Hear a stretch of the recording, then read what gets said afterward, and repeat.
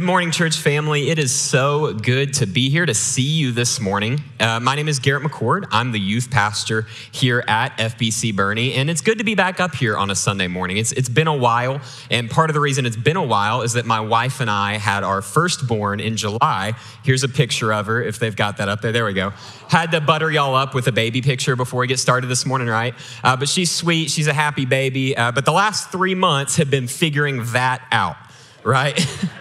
I'm the youngest sibling. I'm one of the youngest cousins, so I have like no frame of reference. I always used to joke with Christine, like I have no like frame for child development. Like I look at a kid, you could be six months old, six years old. I have no idea. Like I just don't.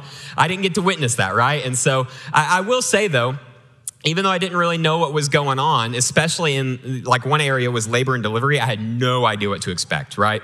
Absolutely none. I will say though, and, and I hope Christine would agree with this. I, I, think I did a fairly good job, right? I didn't faint. Like I, I, was good. The one area where I tripped up a little bit was the epidural, right? Uh, and, and, so let me explain. Basically, we were loading up the buses for camp, right? We were going to Cairo. We knew that we weren't going to go to Cairo. She was actually past her due date at that point.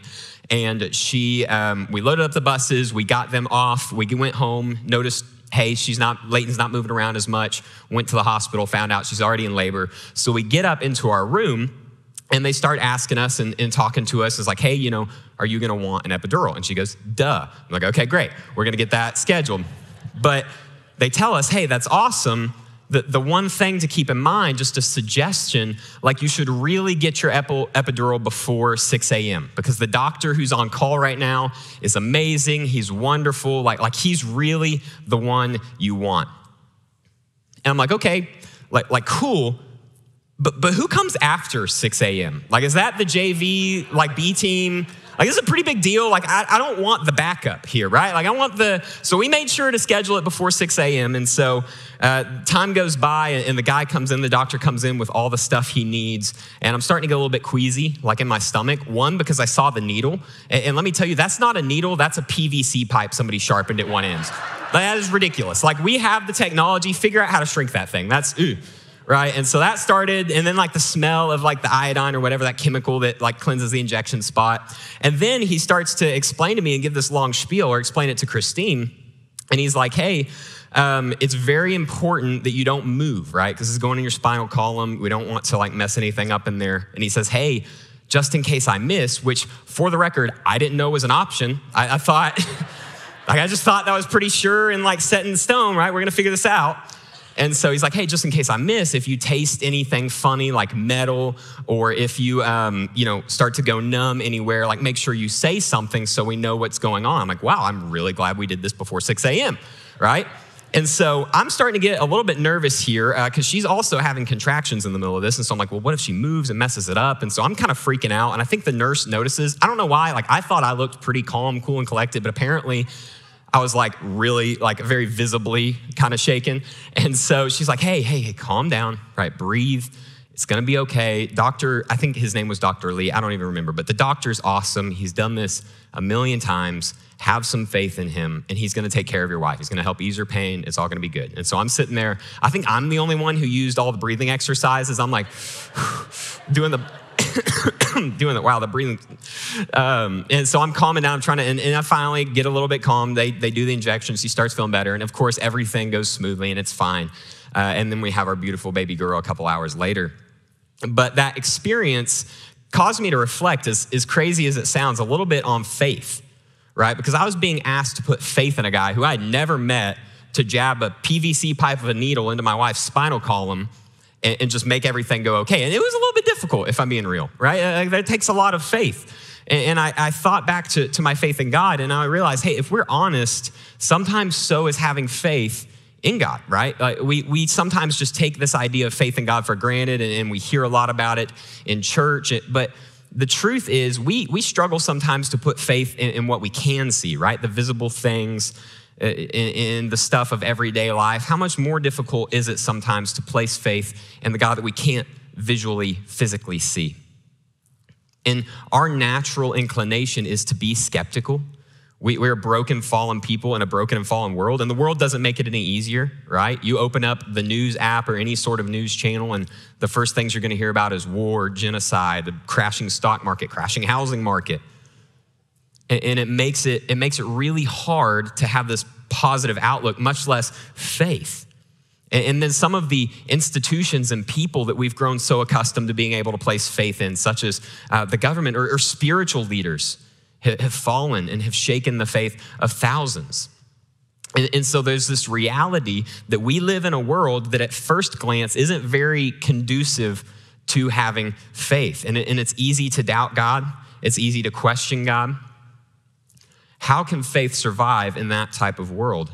It can, and I hope to show you this morning that not only can faith survive, not only can faith thrive in the world and society that we live in today, but it's absolutely necessary to persevere through the situations we face today in the world that we live in today.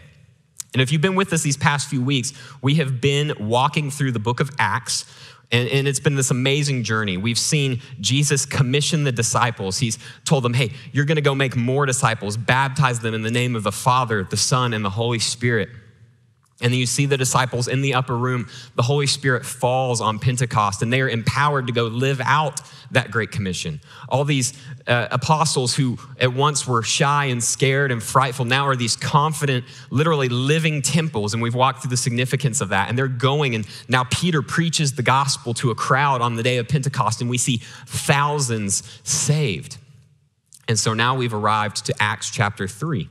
And so, if you would, go ahead and grab your Bible, open up to that spot, Acts chapter 3, verse 1. If you don't have a Bible, there should be one in the pew rack in front of you. That is yours to keep.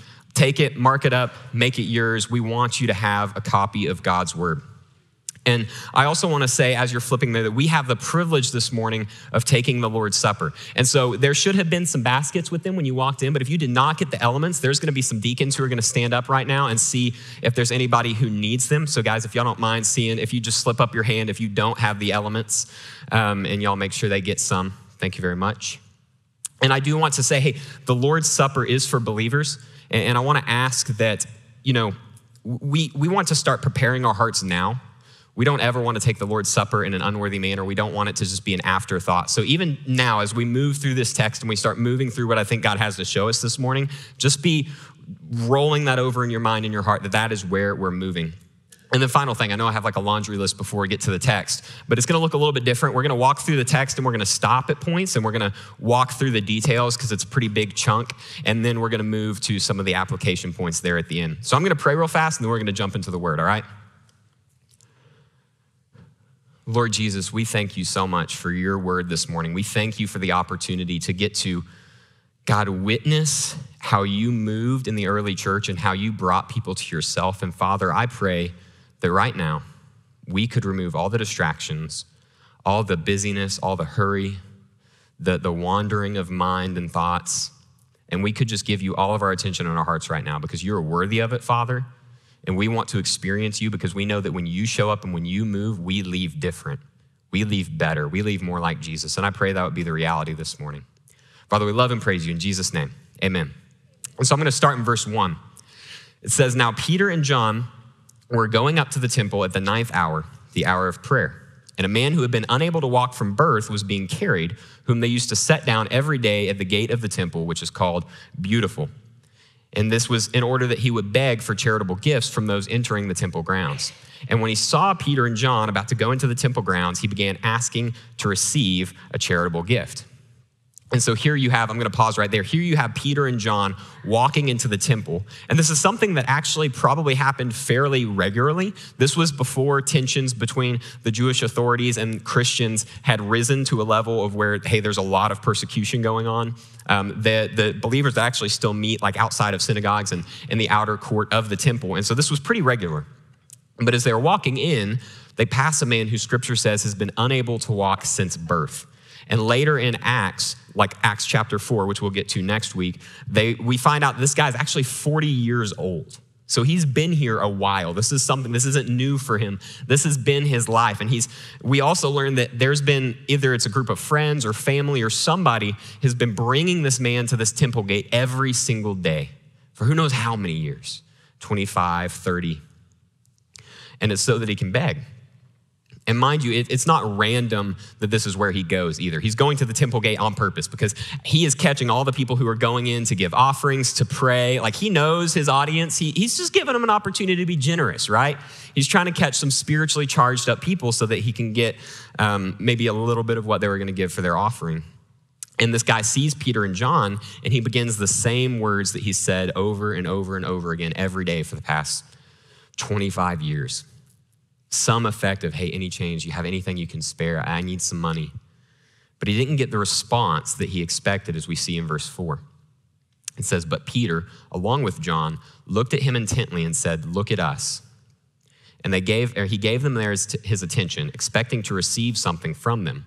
But Peter said, I do not have silver and gold, but what I do have, I give to you.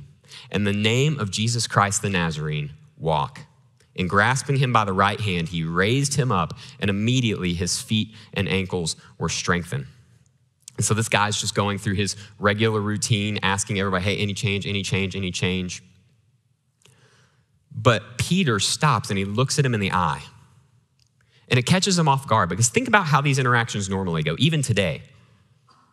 Honestly, it's usually avoiding eye contact, just going as fast as you can to get past. But that's not what happens here. Not only does Peter make eye contact with him, but he says, Hey, hey, hey, look at me. And now all of a sudden, this interaction that was this kind of transactional, hey, give me money and I'll leave you alone type of deal, is now a genuine meeting. It's a genuine, there's actual humanity in this conversation now. And, and while this guy's expecting some sort of handout, Peter flips the script and he says, Hey, I don't have any silver or gold to give you. See, Peter's pretty relatable here, right? It's like, I, got, I don't have any money, man. But what I do have to you, what I do have, I give to you. In the name of Jesus Christ the Nazarene, get up and walk.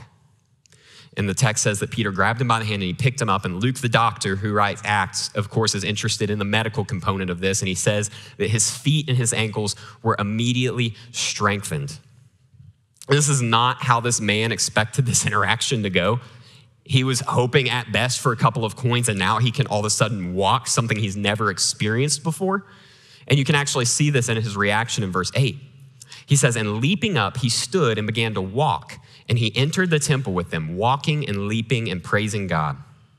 And all the people saw him walking and praising God, and they recognized him as being the very one who used to sit at the beautiful gate of the temple to beg for charitable gifts. And they were filled with wonder and amazement at what had happened to him. And if you can, try to put yourself in this man's shoes. 40 years he hasn't ever known what it feels like to walk or stand or run or even be able to go anywhere without having to have someone help him and the feeling of being a burden. And all of a sudden, in a moment, everything changes. He, he, he, he gets pulled up and he, he leaps up and he's now walking, running, standing all at the same time. He's like going crazy because he doesn't know what to do. And the text says that he started to praise God. And, and that's pretty significant. And, and I wanna, I wanna proceed with caution here because I am filling in some lines, but I don't think it's a stretch. Because think about this, man. He's in Jerusalem, he's at the temple. He's probably born a Jew, raised up in, in that faith. He, he has some sort of experience with the things of God. And, and, I'd have to imagine, with not being able to walk for 40 years, he probably had some hard moments in his relationship with God, if there was a relationship there at all. I don't think it's a stretch to imagine that between nearly 40 years of being unable to walk, that there was some anger, some bitterness, some frustration. God, why me? Why, why me? I, even from birth, why would you let this happen to me, God? I can't have a family. I can't provide. I can't do it. Why would you let this happen? Yet in one moment, the name of Jesus made everything whole. And he knew no reaction except to jump up and praise the Lord. All that bitterness, all that anger, all that perceived, hey, God just forgot about me, washes away in a moment. And he sees God for who he is. He knows that, hey, God sees him and he begins to praise the Lord. And the text actually points out that those around him noticed this and they were astonished to see him up and walking around. And that's not just because, hey, you know, why is this guy jumping in the temple? It's because they knew this guy. He'd been sitting here for 30 years. And they've never seen him been able to walk, been able to do anything. And now all of a sudden he's running around clinging to Peter and John. And so they're just confounded at what in the world just happened. And they're so amazed they actually come and they start to investigate the situation in verse 11. It says, While he was clinging to Peter and John, all the people ran together to them at the portico named Solomon's, completely astonished. And so now this group is starting to form under uh, Solomon's portico. And, and the reason the whole Solomon's portico thing is important is ironically, probably about six months before this happened, Jesus was actually standing in this exact spot in John chapter 10, teaching. And so now Peter, this, this group is gathered up again right in this very spot, and Peter sees the opportunity and he begins to preach again. And he just straight up shares the gospel. It sounds very similar to his sermon that we heard a couple of weeks ago of, hey, you know, you've seen this man Jesus. God glorified him, yet you killed him. However, God raised him on the third day. And, and he begins the very same way, but when he gets towards the end, after he presents the gospel, he adds a twist. In verse 16, he says, And on the basis of faith in his name, it is the name of Jesus which has strengthened this man whom you see and know. And the faith which comes through him has given him this perfect health in presence of you all. And now, brothers, I know that you acted in ignorance, just as your rulers did. But the things which God previously announced by the mouths of all the prophets that as Christ would suffer, he has fulfilled this way. And therefore, repent and return so that your sins may be wiped away, in order that times of refreshing may come from the presence of the Lord, and that he may send Jesus Christ, the, or Jesus, the Christ appointed for you whom heaven must receive until the period of restoration of all things, about which God spoke by the mouths of his holy prophets from ancient times. And so here, Peter's been sharing the gospel, and now all of a sudden he pivots back to the point of the miracle. Why did this miracle happen? What is the purpose? It's not random. God had a purpose for this happening in this time, in this place, to these people. And he says, hey, this miracle, it is by faith in the name of Jesus that this man was healed. That, that is what healed this man. It wasn't me, Peter. It wasn't him, John. It wasn't some magical, mystical. It was the name of Jesus that healed this man. And it happened here in front of you so you would know that the power of the name of Jesus brings healing and life and restoration. The miracle provided these people a chance to repent. And Peter calls them, hey, repent and return. And he gives three things that will happen. He says, one, so that your sins would be wiped away. Two, that times of refreshing may come from the presence of the Lord. And three, that God would send Christ, which is possibly an allusion to the second coming. And there's a lot there that we don't have time to unpack this morning. And Peter ends this sermon by pointing out that Moses, the prophets, and Abraham, all of these, this great cloud of witnesses pointed to this fact that there is power in the name of Jesus and that faith in that name brings healing, brings life. It's all pointed to that central truth. And really, through and through, this whole account and this whole story of this miracle is full of the gospel. Peter preaches it. He explains, hey, this whole miracle was proof of the gospel. It was a picture of that and the healing of a man. And then he says, hey, there's all of this evidence. If that wasn't enough, all the people that you rely on point to Jesus, talking to the Jews.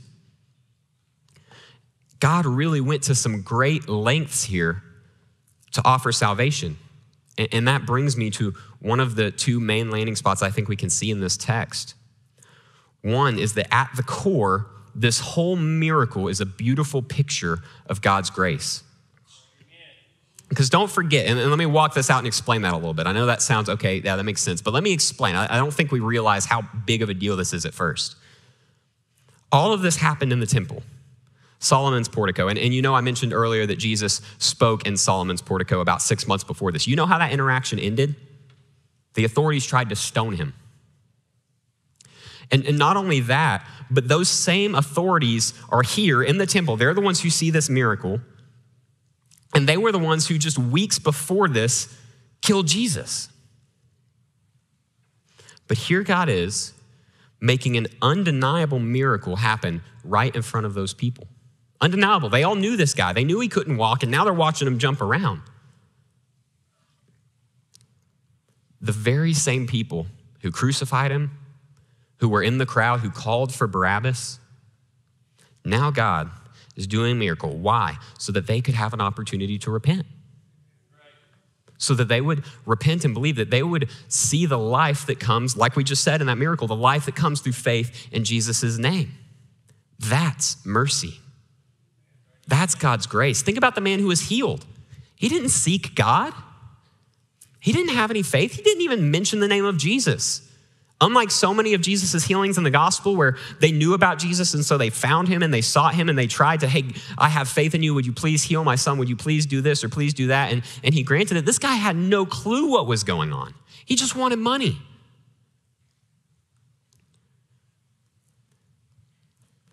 He just wanted money, and God chose to empower Peter and John through the Holy Spirit to heal him. It wasn't a random miracle, right? Peter didn't just say, ah, this guy looks like he's worth a healing and sprinkle some like magical fairy dust. No, this was intentional. This man who wanted nothing to do with God, seemingly, was intentionally chosen for this healing. And so you, you start to look at all the players in this story and you quickly realize hey, none of these guys deserve all this mercy that God's given out. None of these guys deserve this grace. Like they're all guilty. They wanted nothing to do with God, but God, for some reason, just shows up and says, Boom, I'm going to change your life. And we can be so quick to dog on the people in this story. The Jewish authorities are very often kind of this like proverbial pastoral punching bag. Like we love to throw stones at them. And not saying that they're innocent, but I think we often forget that we, we have been in the same boat just like them, before God's grace showed up, for every single one of you sitting here, and myself included, who's a believer, before God's grace showed up, we were just as evil. We were just as ignorant. And it reminds me of a story uh, from when Christine worked for a swim company a while back when we first moved here. And she was the program director of the swim company, so she kind of did a little bit of everything. But one thing she was in charge of was staffing.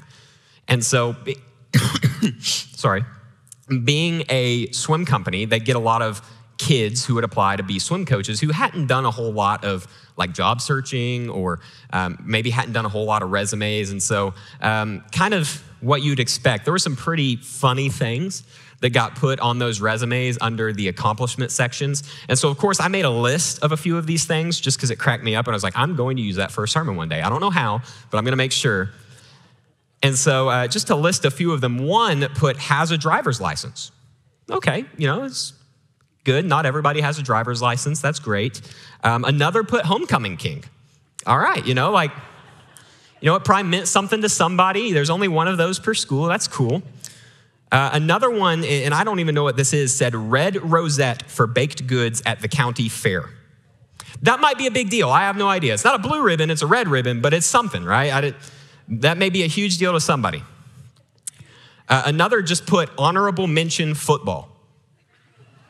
Like, not honorable mention MVP, not honorable mention like all like first offense, like just honorable mention football. Like, I almost made the team.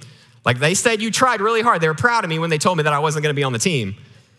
And then finally, my favorite one, uh, it literally just said, I'm not kidding you. I, I just literally copied and pasted it. It said talking 10 plus years.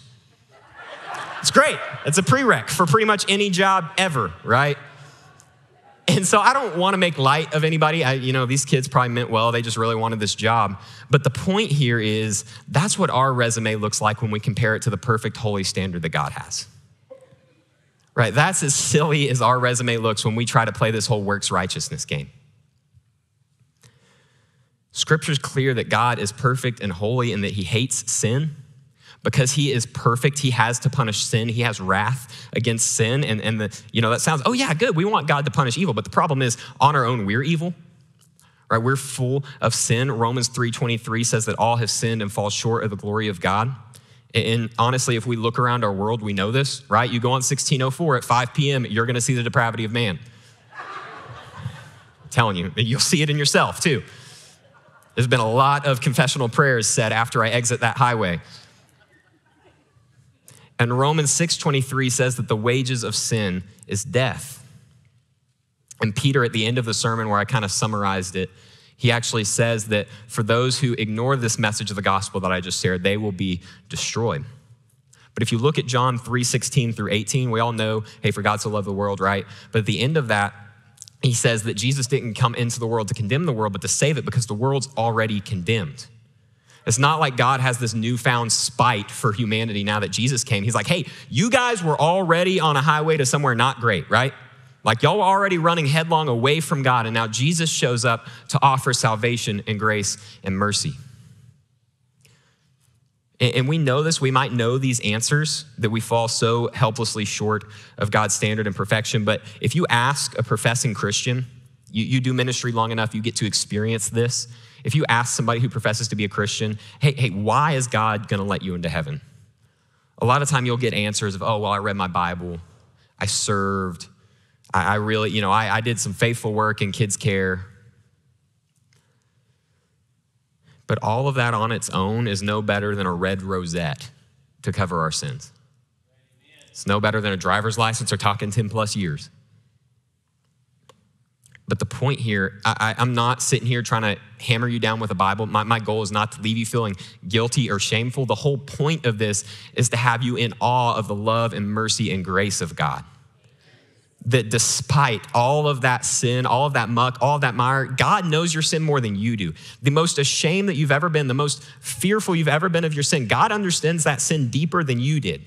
It offends him more than it offended you, yet he loved you. Yet he offered grace, he offered mercy.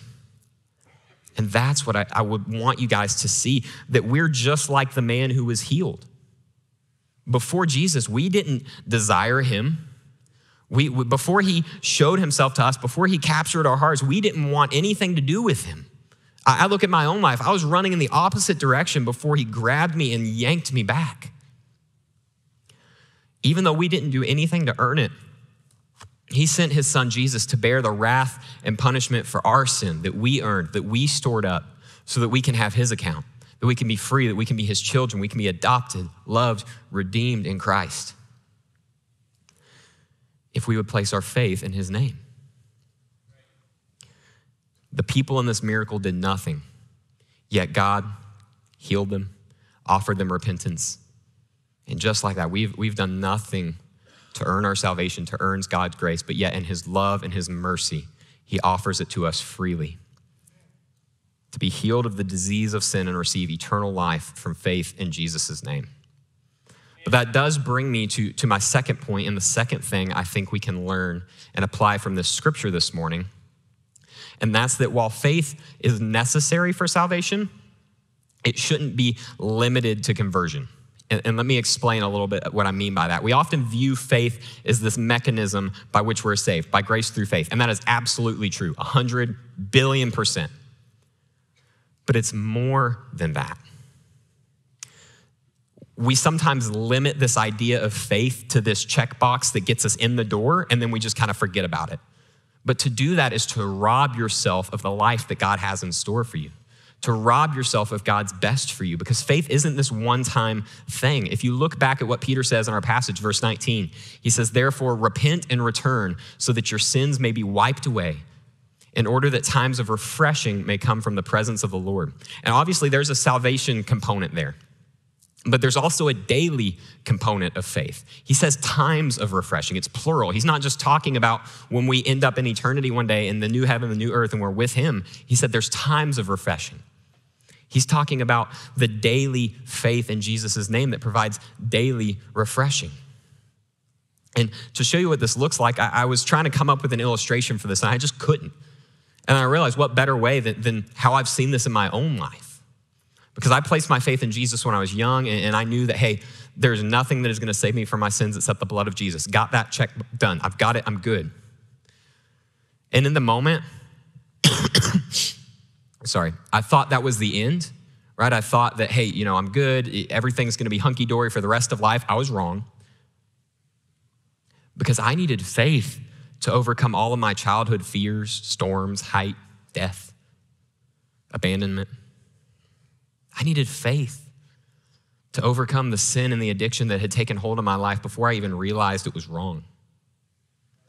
I needed faith to make a decision on where I would go to school, on committing to ministry. I needed faith on where to serve in ministry in the middle of a pandemic and try to try to provide for a family. I needed faith to navigate being a husband and a father when I had no idea what I was doing.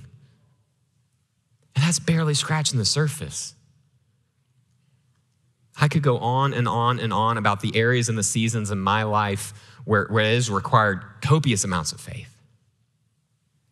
And it's not just me. Every single one of you can probably relate to that in some way, shape, or form. We all have this mountaintop experience when we get saved, but then we realize, hey, the Christian life is this mountainous valleys and hills where you have these great moments and then you have these moments in these valleys. And we can so often think that, hey, it's all about trying to be on as many mountaintops as possible until you mature in your faith and you realize that it's in the valley where God teaches you to have faith. It's not this one time event that its only purpose is to get us in the door. It's needed for every stage of life, all the trials, all the joys. And if placing faith in Jesus to be saved is, hey, God, I trust that Jesus' blood is enough to cleanse me of my sin. There's no other way. I'm placing my faith that I know that what's going to get me into heaven day is the fact that Jesus died on my account. Then daily faith looks like, hey, God, I trust that you're going to help me walk out of this sin. I trust that you're going to make the financials of the situation work out. I trust that my value is in you. I am who you say I am, not in what people think about me. I trust that my value, God, is more than my relationship status or, or my, my work, my career. I trust God. in whatever that situation is saying, I trust you. And if you will, I promise that God will show up in that situation. I know that He did it for me. He freed me from those fears, that sin. He led me to the right school. He led me here. And, by His mercy, He has been my sustainer in, in fatherhood and marriage. And He will do the same for you. And I know that's a big promise, but that's God's big promise. It's not mine. That's straight from His word. There's an author named Erwin Lutzer who wrote, Faith is only as good as the object in which it is placed. So you can trust that your faith will be effective. You can trust that, hey, if I place faith in Jesus' name, he'll show up because he's already showed up in the biggest way possible on the cross. If he can bring about salvation from the death of his son at the hands of evil men, then he can bring about life and refreshing in whatever you're going through this morning. I promise. And I will have to, I do have to say that doesn't always look like we think it will. There's a theological movement today that says, hey, God will always provide physical healing because that's his will. You just have to have enough faith. And if you don't experience that feeling, you just need more faith. That is not what I'm saying this morning. That's false teaching. But I will say that God will show up. He might not provide physical healing, He might bring emotional healing. He might bring mental healing, relational healing, spiritual healing, which is actually our highest need. That's where we get that wrong. We sometimes think, hey, physical healing is what I need. Hey, the death rate is still 100%, guys. You can be physically healed. You're still going to meet your creator one day. And so, in light of that, what's our highest need? Spiritual healing. God promises that. He's a good father. He knows what his children need. And He's always going to provide that because He loves to, He cares about you, He will discipline you well. And we sometimes bristle at that word discipline because we may have images of how our parents disciplined us, sometimes out of frustration, sometimes out of anger. That's not how God disciplines. If you would put faith in His name, you'll experience healing. The issue here is sometimes we, we as believers, we usually think we're pretty good in this area. We don't think this is something we struggle with. We don't easily realize when we have misplaced our faith in day to day life. It's not something that we just knowingly do, but it's usually this gradual fade into placing our faith in some lesser thing. We start on fire for the Lord when we get saved, but when the road bumps of life start happening, we start to return to those old ways. Like, hey, Jesus, I really appreciate you saving me. That's great. Like, I, I know you did that for me, awesome, but I've got it from here. Like, I'm gonna take the wheel, like, I got this. Like, I'm good. So, to those in the middle of a trial or a hardship this morning, or just life, let me ask you where is your faith this morning? Is it in the name of Jesus? Or is it in your name? Your ability to handle it all? to organize everything, to keep everything together. Maybe it's in your bank account, all the financial hedges you've set up to protect yourself from life and vulnerability. It's the issue with money, it lets us play God, protect us from feeling like we need anybody. Your ability to hide or run from anything that makes you discomfortable. That's where I'm at, right? I don't like to feel sad. I don't like to feel anxious. I'm pretty good at running from it. Is that where your faith is? Let me plead with you this morning. My goal is not to shame you, it's to plead with you and say, Would you give it up to God? Would you stop playing that game? Your name is not built to handle any sort of faith.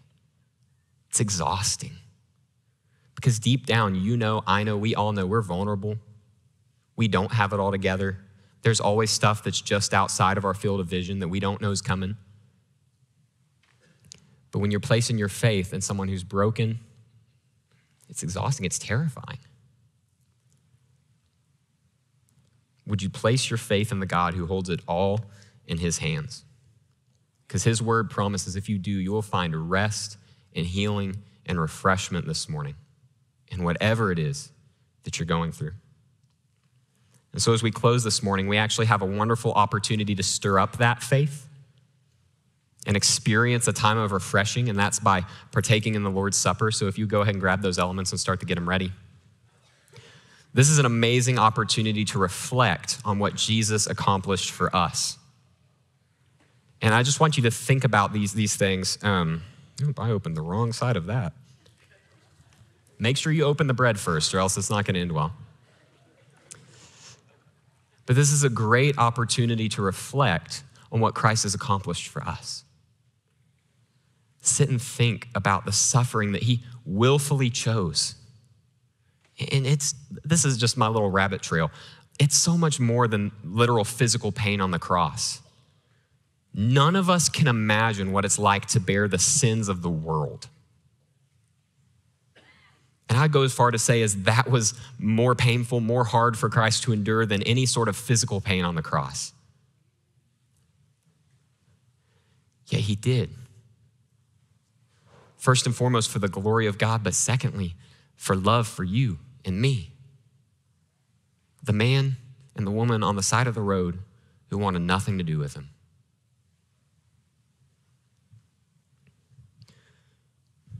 So as you reflect on that, it, it, like I don't know how that can't stir up your faith and your love for Him, to stir your affections for, hey, God did so much for me. I, it's not like, hey, I'm going to do a lot for Him. It's just I'm going to rest in my love for Him because of what He's done. As we reflect, ask yourself those questions I mentioned just a moment ago. Where are you placing your faith today? Where is it? Is there an area of your life where you need to invite Him in? You need to lay down your desires for His will? You need to die to self and pick up your cross. Maybe you just need to take time to pray and ask for faith. God loves to give faith as a gift. And so I'm just going to give you a few moments to reflect, to pray, to, to get your heart right with the Lord. I said earlier, we don't want to take this in an unworthy manner. If there's sin that you need to confess, I'll just take the time to do that now, and then we'll partake.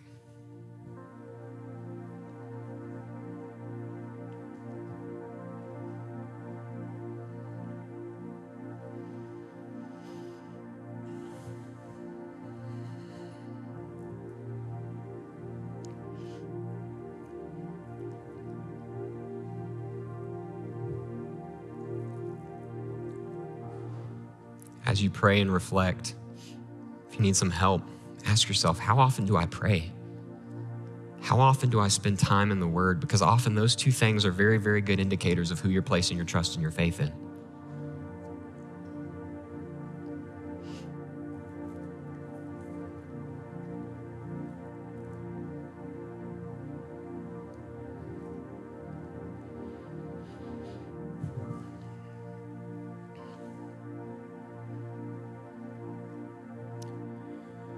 Take the bread, let's go ahead and dwell on the fact this is Christ's body broken for us, broken for our sin. Matthew 26, 26 says, Now, as they were eating, Jesus took the bread and after blessing it, broke it and gave it to the disciples and said, Take, eat, this is my body. Go ahead and prepare the cup.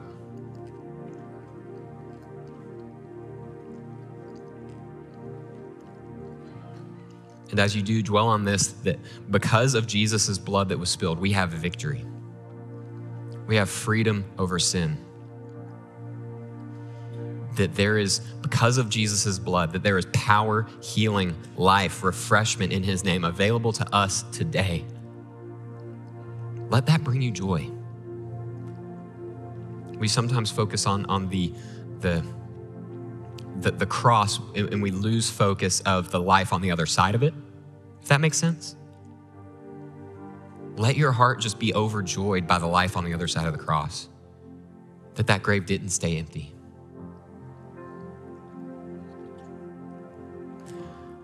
Verse 27 says, And he took the cup, and when he had given thanks, he gave it to them, saying, Drink it, all of you, for this is my blood of the covenant, which is poured out for many for the forgiveness of sins. Just a moment, we're going to take an opportunity to sing. We're going to sing a song of praise. We're going to respond. And if the Lord has been moving in your heart, if you felt conviction, whatever it may be, don't run from it this morning. Would you take this opportunity this morning to just remove yourself from what's going on in five minutes? Your growth group, your, your lunch this afternoon, that'll be there when you get back. Just take this time, the next two, three minutes. Would you rest in the presence of the Lord? Would you give it to Him, whatever that is that you're going through, whatever life is throwing at you right now? I don't know what it is. But would you give it to Him who can hold it in His hand? Would you give it to Him who's in control, anyways? However, the Lord is leading you, please be obedient respond.